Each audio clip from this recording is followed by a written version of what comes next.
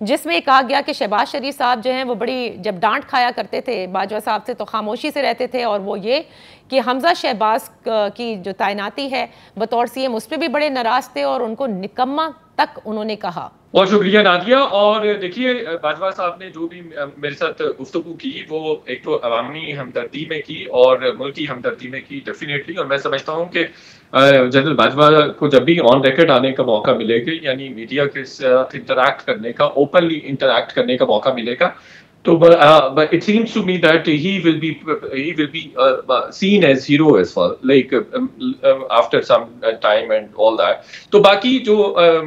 शहबाज शरीफ साहब के बारे में लिखा गया है तो मैंने तो सारे एडिटोरियल चेक्स भी आप अपने आप पर अप्लाई किए और उसके बाद ये, ये तमाम तहरीरें लिखी हैं और काफ़ी मैंने माइल्डेस्ट अभी वर्ड्स यूज़ किए हैं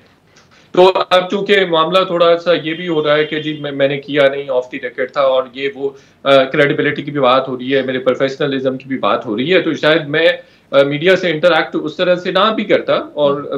like to to be someone लेकिन चूँकि अब तो करियर की बात हो रही है और प्रोफेशनलिज्म की बात हो रही है तो मुझे फिर अब मीडिया पे आना भी पड़ रहा है और सारी चीज़ें। करनी भी पड़ रही है तो डेफिनेटली हमारे जो पॉलिटिकल फिगर्स हैं वो इसी तरह से वीक होते हैं हम्म। और